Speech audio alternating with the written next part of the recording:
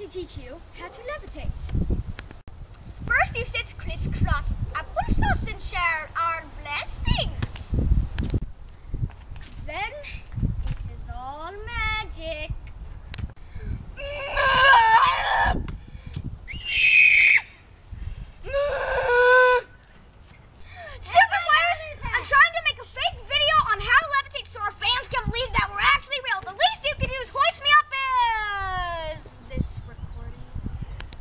Yes, it is!